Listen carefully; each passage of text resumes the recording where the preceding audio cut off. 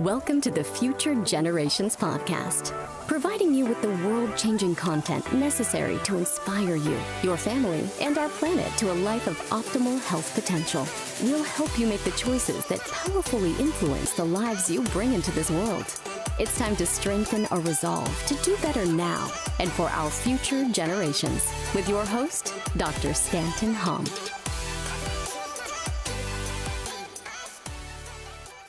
The man, the myth, Oh my goodness. the legend. What is happening, sir? How are you, man? I'm Great, How are you? great. How are you? I'm doing well. I'm doing really well. I think I've shared with you more than most Uh, of what, of what we've been through, but honestly, turn a corner, man. It's super great. so glad. To be here. Oh, so glad, so glad. And I like it's fun when you know the whole, you know, the mission, when you know what's going on, you know, kind of the whole program, you know how everything rolls. So I don't have to explain all that. So we just get to start diving in to the man that is Dr. Stanton Hom. And and that's what's gonna be so freaking rad, man. So we'll uh we'll chat for a little bit and then we'll just open it up to our our young men and and uh, just have a good conversation, man. But I want to just want to start by thanking you for not just being here, man, but thanking you for for who you are. It's always an honor when I get to bring anybody that we get to bring in on the show. Is I mean, that's an honor. It's an honor to have that time and to get that wisdom, right? When it's somebody who is also a dear friend and a brother, um, that's another that's another step up, you know. So thank you, thank you for that. Truly, I will say I feel um I feel little butterflies, you know. I, I've spoken to sometimes 10,000 people live and I've spoken on four continents and and honestly, I would consider this time that I'm with you guys uh one of the most important times that I've ever felt like I just I, I feel so one honored to be here, but but secondarily, I just feel like um, the words become to matter so much more when I get to speak into what we call the future generations. I I, I love I love the fact that um, we're on the same mission, my friend. Very honored. story, man. Oh no, honor is honor is completely on this side, man. So I'm excited to dive in and, and tell the world about what's going on. That's that's one of the the cool things about this too is you know we want to inspire these amazing young men that we have here, and and they are the future generation. And we've got you know these guys are already leaders, far better than a lot of the the grown men that you and I deal with. Uh, you know, I mean that's just a reality of it, right? Like these these young men are are amazing leaders, but um, I'm excited to get the word out about you too and just what you're doing. I want this, you know, I love that this goes out to 100,000 people every episode too. I want people to know who you are and what you're up to, man. So we're going to dive into all that, but since we have some young men here and um, we got, you know, young men that that listen, I like to start with Stanton as the young man. I like to start with Stanton when he's, you know, when he's 15. Uh, I know when I was 15, I had it all figured out, man. I knew everything at 15. Now that I'm 43, I realize I'm an idiot, but I knew at 15, I knew everything. So, uh, did you know everything like I did at 15? Uh, I wasn't anywhere near as cool as the young men on this call. Um, but who were you at 15, you know, 13, 14? 15 uh i mean I, I i i would say that i was the the coolest nerd in the world no at least in my world right Yeah. i was i was um at that time i don't know sophomore junior i I- graduated at 17 so i guess that would make me a sophomore Mm. and i was uh i was i was a band nerd i am a, i'm a brass player Played the Awesome. trumpet, played the baritone, I played the tuba, uh, and I was a varsity tennis player at the time. And so I had, I had two things uh, going against me in terms of like the high school popularity contest.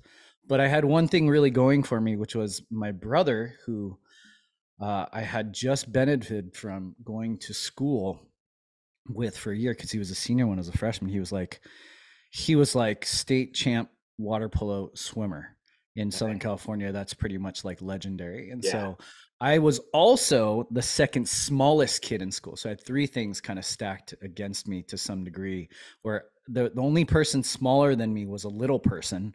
And um, so I, I, but I crushed everybody. I went, I went undefeated my freshman year in high school when I was a small, I, I looked like I was 10 years old and I was beating, you know, kind of grown teen Yeah. teen boys and then by the time i was a sophomore i, I had i had a little bit of a street cred from my brother, and I was I was a little bit more of a swag because I was really tiny but destroying people on the tennis court. So so I think on one end I was frightfully um, socially anxious to some degree, and on the other end I just I kind of had a, a, a deep confidence in in what I was capable of. That's awesome, man. Oh, that's so rad. So tell and so tell us about the relationship with the parents too. Solid, everything solid at home. At home, I would say uh, I don't know. Very very traditional Asian American. My mom's side is a little bit more um, uh, traditional. She immigrated from Taiwan in the '60s, so we still have a lot of tribal kind of that typical tiger mom type philosophy coming from her. And then my dad's side, he was born in LA, uh, but he's from his family's from China, and so largely um, um, totally assimilated. Yeah. And and my dad was one of the most uh, laid back dudes because his dad was World War II. Uh, just uh, kicked his ass a few times yeah, and so right. my dad my dad kind of promised that he would never do that and so it's interesting you know because because i was pretty much maybe more um proactively raised by my mom and still to this degree am but i would say relationship was always good um relationship was always based on fear from my mom's side and then my dad was always the one that I just knew uh, there was a certain like inherent unconditional love, and then you know kind of a quiet type of leadership to that degree. But overall, good, um, but very Asian American, where there's there's not a lot of words sometimes. There's a lot of a lot of modeling. Uh, for sure. A lot of a lot of guilt.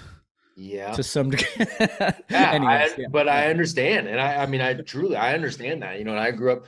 Um, obviously didn't grow up in an Asian American household, but I had a lot of friends who were growing up in an Asian American household. I have a lot of, you know, and so I saw that.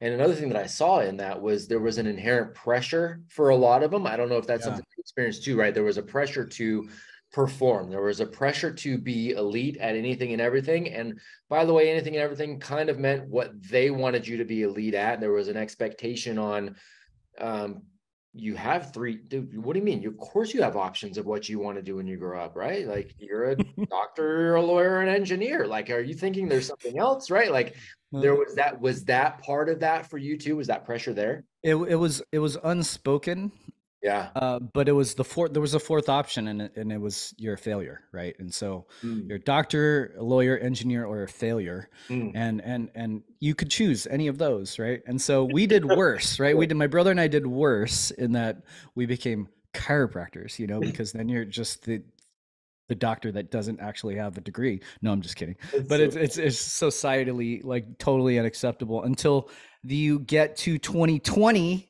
yeah. and you realize that oh we're oh we're oh oh oh we're right. Okay so anyways we can get to oh, that later. oh we're gonna get to that. We're gonna get to that. So so uh, so then let's talk about that decision to become the chiropractor. Like what did that what did that look like? How did you even come to that? Because i do want to get i want to do as much you know anything that you want to dive into yeah. but i want to do kind of go high level on where you got yeah. to you're doing now and i really want to dive into what you're doing now what you stand for how that all looks. I want these guys to hear that. So how'd you so, get that? so let let's let's let's keep going on that timeline that we were on before because yeah. by the time I was 17, right, that summer, uh, my summer uh, after high school graduation, I was um, maybe two weeks after high school graduation, I was in the mud, uh, low crawling at basic training at West Point, mm. and so so that that is uh, uh, maybe how far I, I I might be holding the record, like the record of how far an Asian American mom can coerce their child to go like sign up for West Point, um, go through all the testing, go through the congressional recommendations, go down that entire path, um, hate virtually every day of the first two years of it, and uh, still go on to graduate, right? And so, so it, I would say that it was, in hindsight, one of the more traumatic, one of the more crazy, one of the more like definitely not what I wanted to do with my life, mm. but definitely in hindsight, one of the things that has has largely fueled everything that I do today. Where I thought that I knew that I was going to go to UCLA, and I thought that I knew that I would, you know, somehow have some sort of, you know, tennis opportunity there, which I would not have. Um, and against my own wanting and my own desires and everything that I felt like inside of me was being, I, I chose to stay and and and and complete the not just educational requirements but the, the largely i would say um, if there's one thing which i have a lot of things i have a lot of issues with the academies today but if there's one thing that i would say that the academies do well is that from the age of 17 i have always strived to live a life of significant purpose mm. and, and and it's just one of those standards that my mom always held for me and mm. then it was it was launched into a avenue that demanded that of me and so to fast forward that right because then you're in i'm in the army in 2000 i deploy in iraq in 2003 I get out of the army in 2005 and I'm 26 years old, so about a decade older than than the young men listening to this um, listening to this episode. And I had four chronic illnesses. Like I had four diagnosable chronic illnesses that are still somewhat part of my VA, you know, yeah. program and disability right now but um, I had no answers. I had no answers from the conventional medical system.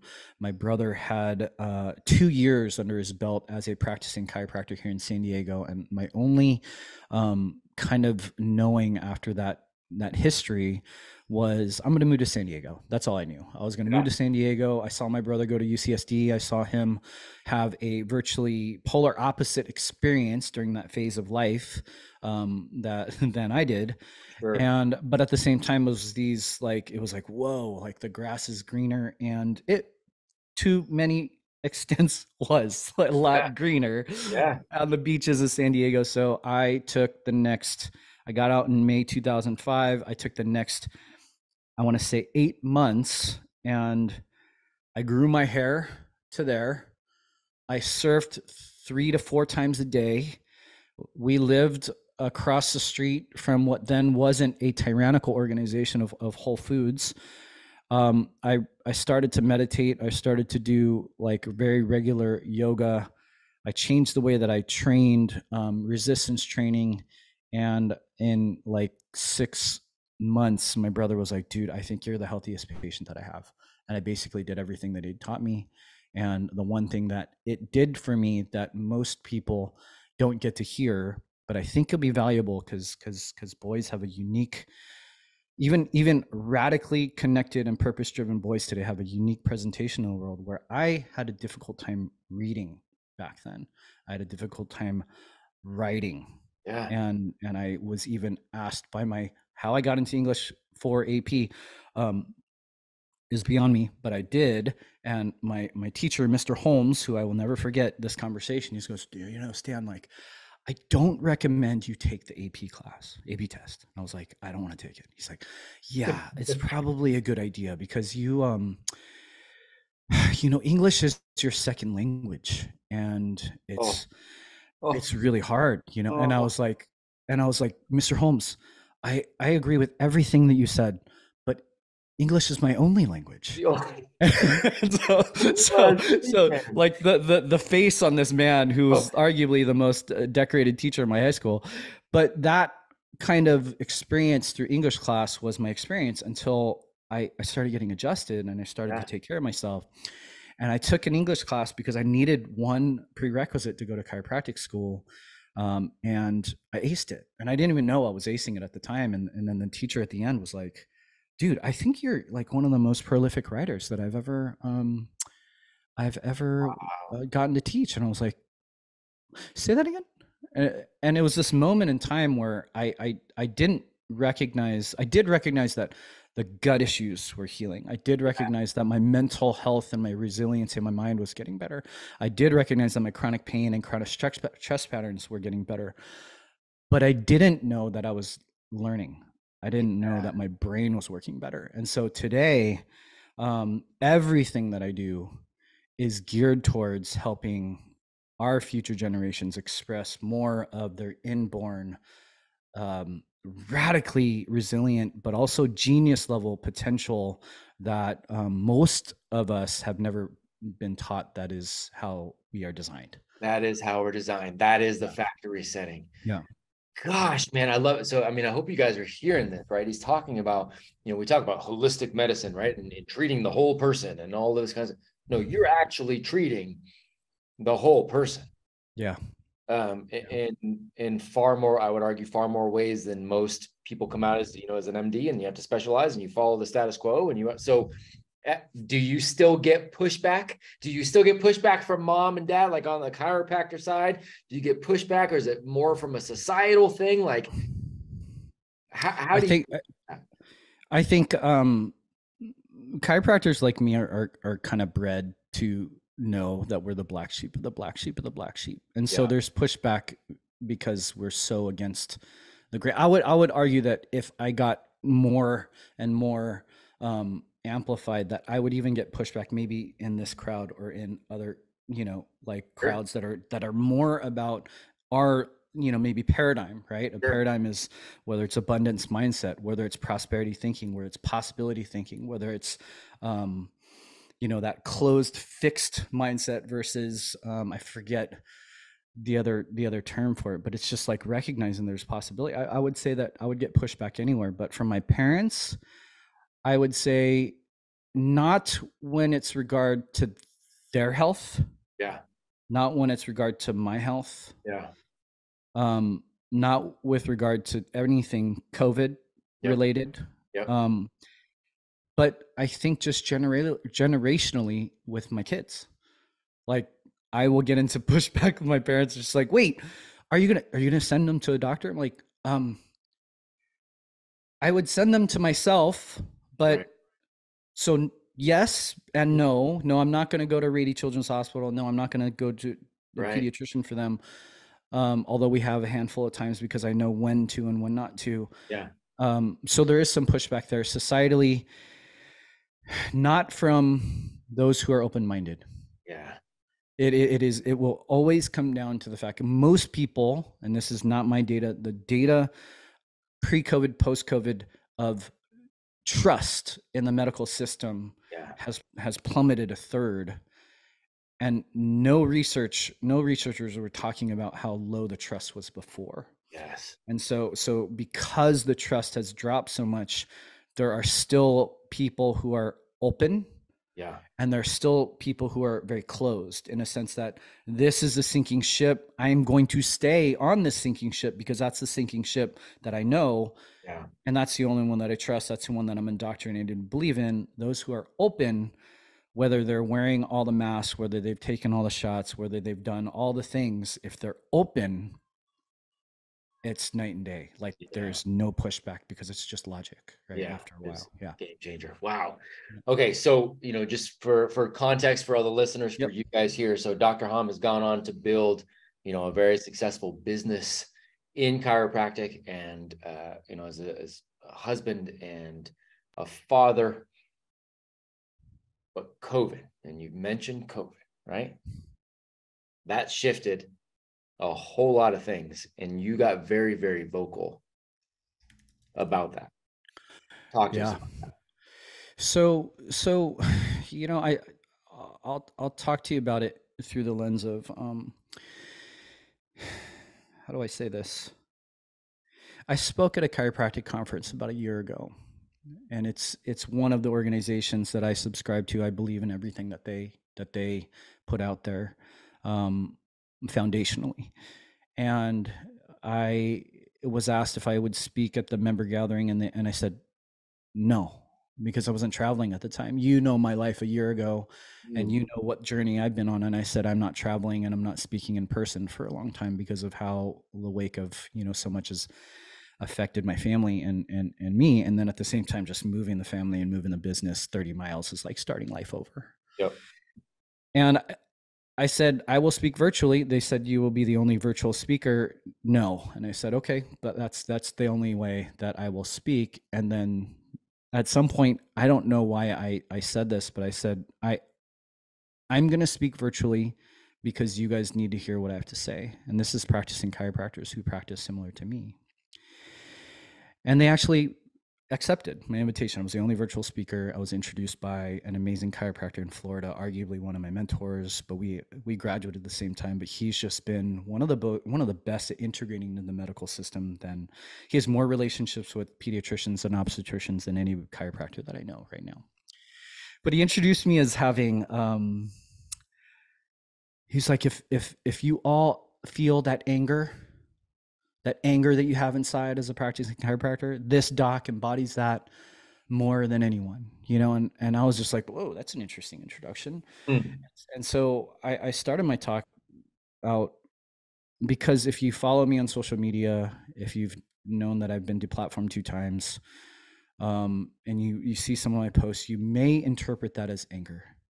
You may interpret that as maybe um, whatever violence you know inflammatory and i have two two things about that number one is i'm taking uh, conversations that i've had behind my four walls uh, mostly with mothers and just putting that on social media mm-hmm. like the frustrations that they have with the conventional medical system the frustrations they've had with pharmaceutical drugs the the the frustrations they've had with um, laws, you know, largely that may have made you move from California to North Carolina. Um, all these things that are affecting our kids, especially those who subscribe to public and private school, right? Which obviously your um, movement to help empower parents is such a key factor.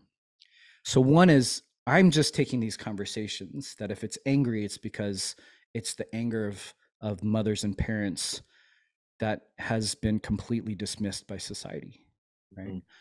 The other side of the coin is is is this is this is my mo right here. Mm. expect miracles right?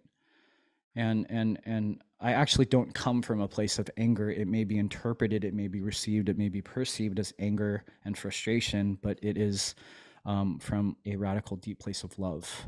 Mm. And that love is not just for my children, although my children being born was the most radical, visceral, tangible, and intangible evidence of the miracle that you kids are.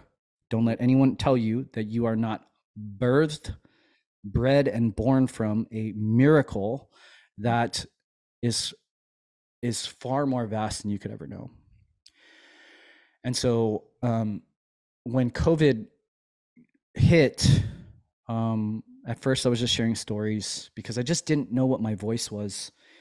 And then at some point, I, I met with uh, a couple chiropractors from Kansas, and they had done a Freedom Revival event. They had some 600 people there, and they're people I graduated with, people I'm inspired by, and they said, "Tag, you're it. You got to do that. You got to do that for your community, and we're going to hold you accountable." And they said, "When do you want to do it?" I said, "This day," and they're like, "Yeah, that's about six weeks. You could pull it off."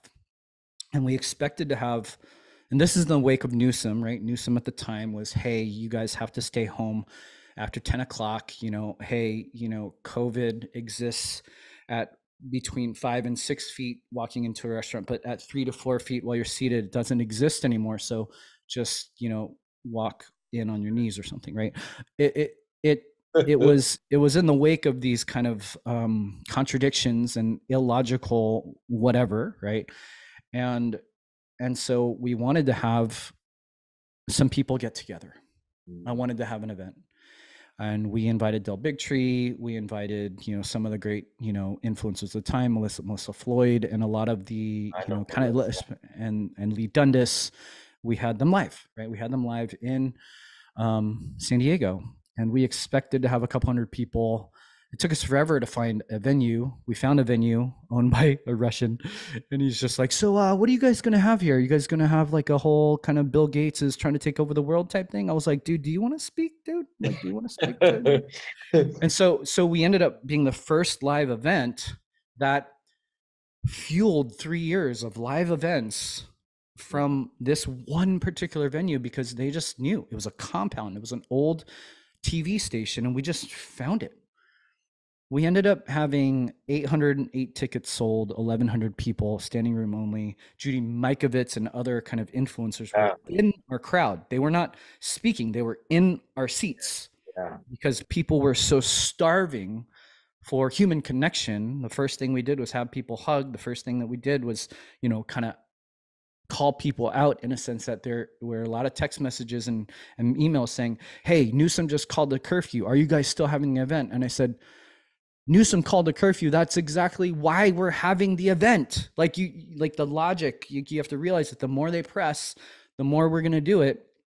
And then after that event, uh, some of the speakers, Alec Zeck, Tommy John, uh, Leigh, were just like, hey, in the lead up, Nurse Erin was there. She was one of our speakers, and she just, they're just like, hey, we learned more from like our initial interview with you. Like, why aren't you speaking out more? And I was like, I don't even know what social media is. Like, I hate social media. I do not like month nine for Apogee Man, right? That whole concept of your personal brand. Rewind me three years ago, and I had no Totally. I had no concept of what a platform was. But that year, let's go just before that, I it was my daughter's birthday. Right? August 2020 was my daughter's first birthday and that event was December 2020, but in August 2020 I had we just were like we're going to have we're to have a party and we're going to throw a big party and we're going to have a blast cuz we're to celebrate my kid's first year life because I have been transformed because of this young, beautiful lady girl that has become the, the princess of my life. And I saw something, Matt, that I, I think you would find valuable. And you young men, you will too. Because I posted a picture as my, my daughter sitting in my lap. This has since been deplatformed. If you go back to my Facebook, you can see the memory. And I remember going back to that. I wanted to go back because I don't have my first two Instagram accounts, but those were all forwarded to Facebook. So I still have the, the record of those posts. I wrote this long caption that said, "Hey, we celebrated my kid. We took over the pool. We, you know, we didn't pay attention to any of the signs. All the neighbors were like, "What the heck is going on?" And nobody, nobody, one has the balls or ovaries to come up to you to say something, right?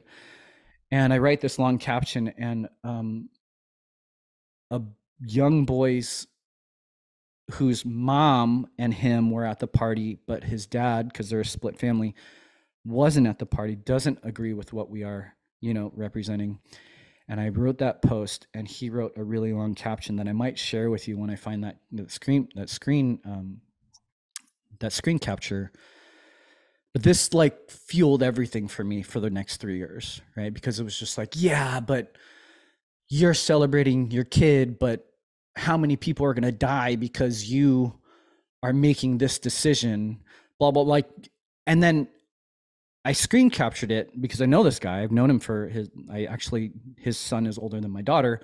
So I, and I saw their family through his wife's pregnancy. I adjusted his son. And you'd never believe what happened. I was going to reply to it and it deleted so he deleted it Mm. so this is this is really important because you guys are living in a world where tech is Yeah. it's just inherent to your world more than us old dudes on the call right that he thinks that comment is gone i never said that where i have visible evidence of that comment and it gave me a pulse matt Yep. of the consciousness of men not only was this dude not on the in the arena with his son at our party celebrating life like we would fighting for freedom like we would but he was publicly putting it down directing it at me and then he deleted it right and so it's like this world where where not only are we just not stepping up Mm. not only do we not understand the gravity of what's happening today but in times of it maybe we could say he's a, he has enough he has enough you know testosterone in his body to say what he thinks despite how contradictory to what the world actually needs today but his deleting of that was mm-hmm. a, was was was one of the litmus tests for me that said i will never ever quiet my voice and it's something that i realized and i made a post early on the god to platform and i said we are at a state of the world where two people behind this thing. Could hate it could never want to put on it, not believe in it, but see, be so socially afraid to say something that they will stay obedient and they will just keep going, right? They'll just keep the narrative going. And so from those two incidences, like by uh. 20 by 2021 I was I was deplatformed. By by 20 by March 2021 we had a Heart of Freedom 2. Heart of Freedom 1 is our event.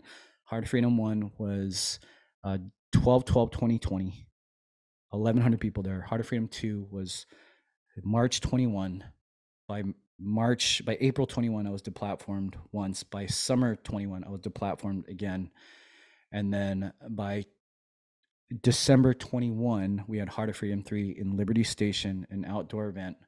Um, we wanted to take our event to the public. We had Bobby Kennedy, we had Del Bigtree, we had Kevin Jenkins, we had some of the best um, of the best speakers, and we had 1,800 people.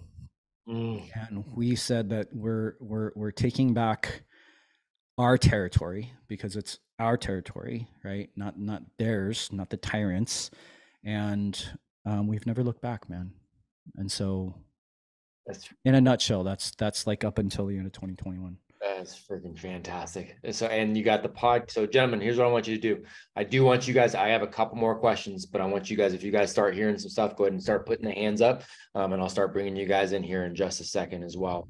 Um, so, is that when you decided to start the podcast? Was it right around then as no, well? The podcast started. The podcast started in early 2020. Okay. It started before the events okay. because I just didn't know what what the landscape was going to be like. I didn't know um, what they were going to try to do with our offices, and and I I learned very quickly that there was a lot of bark and not not a lot of bite, yep. and um, so we just ended up being able to do both.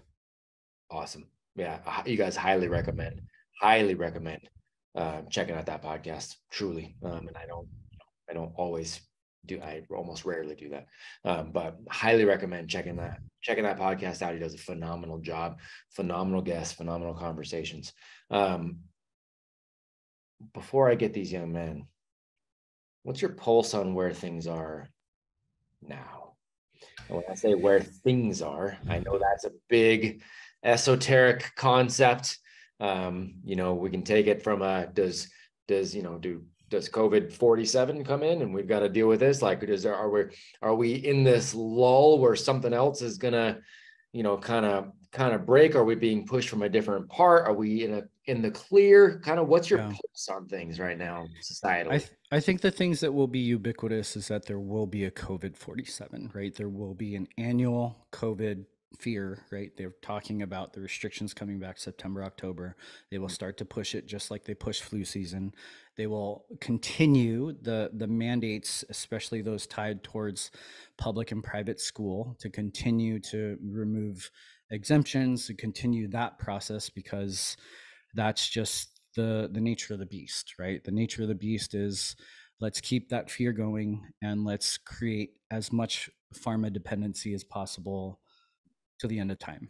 Maybe that's a little bit too too forward, but that's just what I know. I, I know that for a fact. There is no thing in the system that helps you leave the system, right? And that's healthcare, but that's also education. That's also technology. There's nothing in the system that helps you exit the system, and there's no prevention in the system. And so, because of that, it is lockstep if we're only looking at healthcare i believe that they will you know they're starting the rsv thing they're starting all the different um, viruses vectors to make us potentially take on more and more shots right? Sorry guys if that's a little bit too forward but that's just how things go right? How how how far do you want me to go matt? I mean i would say that um, the Hawaii fires are are an indicator of what they're willing to do.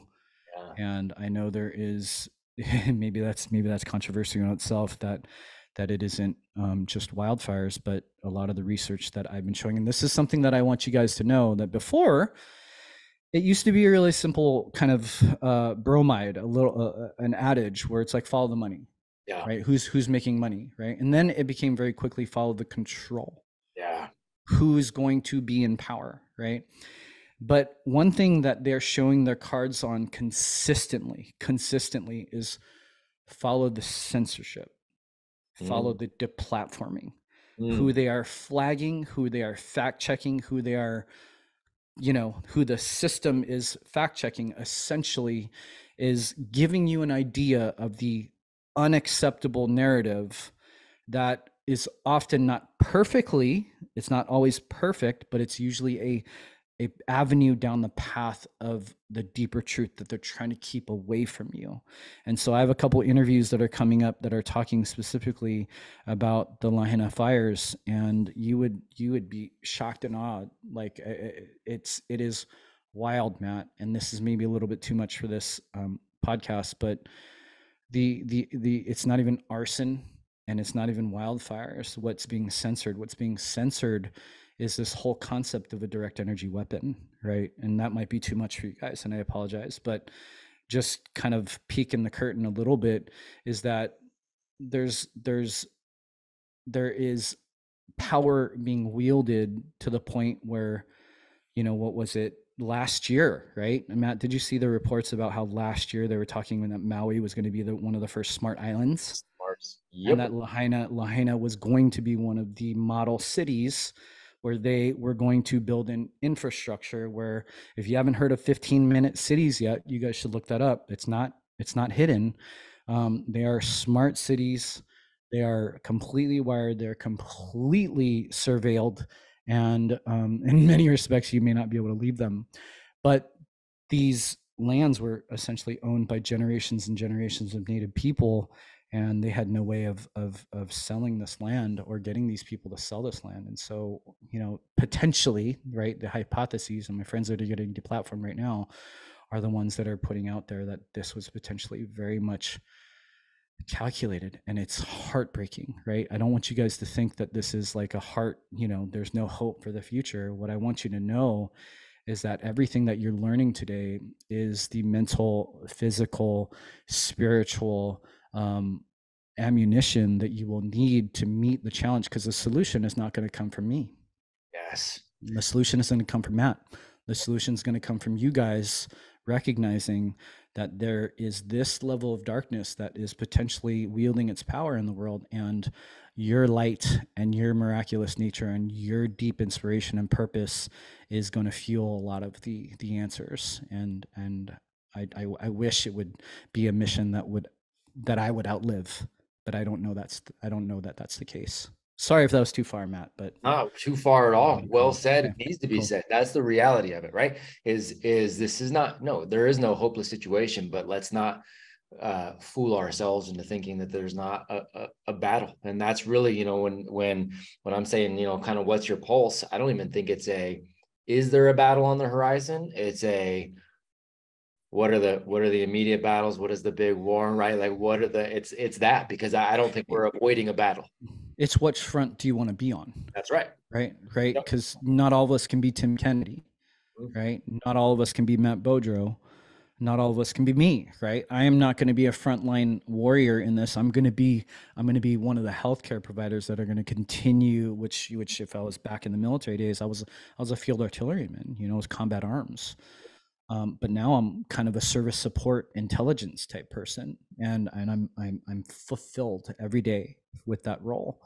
And there's going to need that infrastructure that helps us win um, in the long run because we will win. It's not a matter of if, it's a matter of when, but it's a matter of when we continue to um, lace up our boots and step onto the field. Right?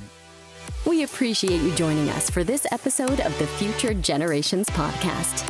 Remember to rate, review, and subscribe on iTunes and Spotify.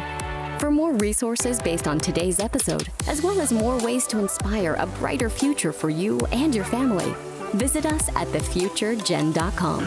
That's all available exclusively on thefuturegen.com.